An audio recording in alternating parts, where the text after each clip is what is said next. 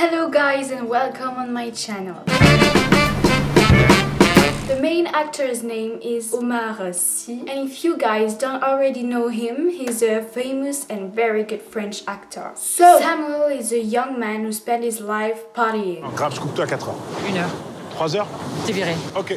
Une heure, c'est très bien. One morning, a young British woman will find him. Fleur de la cour. Tu me reconnais pas, c'est ça Ah, mais oui, oui, oui, Christine. Christine euh, de Berlin. De Londres. De Londres, of course. Then it's easy to realize that he has this habit of partying for quite a long time now. C'est ta fille.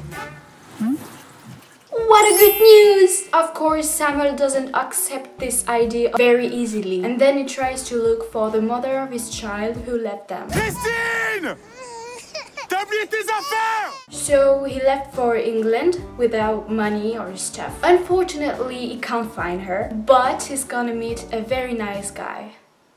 Kind of uh, strange too. Ah, vous allez me sauver la vie. Avec plaisir. On n'est pas à peu près là His new friend will help him to find a job. He's gonna work as a stuntman on a very famous series set. And he decides to live his life with his daughter, Gloria.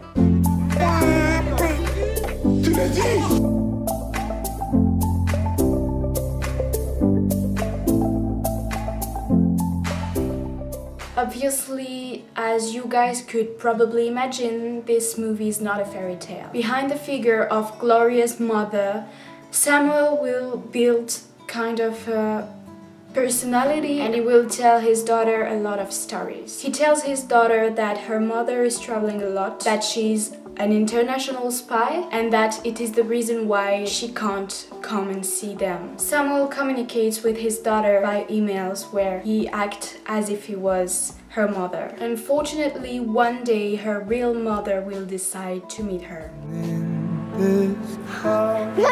And that's when the shit begins. Samuel is a loving father who has to reveal his daughter, the person he loves the most, that a whole part of a life is alive. Gloria est arrivée dans ma vie du jour au lendemain. J'étais pas prêt.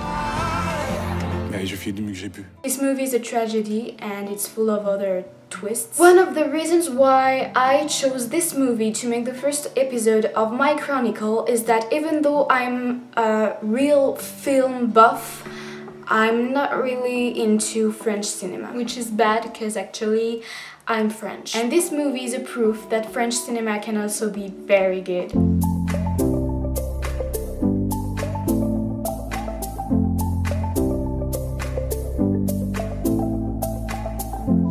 I truly love this film and I recommend it if you're a cinema lover, if you learn to speak French or even if you would just like to see a good film to make you cry and laugh with beautiful landscapes and very good actors. Thereupon, have a nice viewing. Bye! Thank you guys for watching this video. I just wanted to tell you a little something. I'm French, I'm not English. I just learned English for seven years now and I wanted to continue my learning by uh, making videos on YouTube. I'd like you to correct me. Tell me on the comments uh, the faults I can make. Take care of yourself and go watch movies.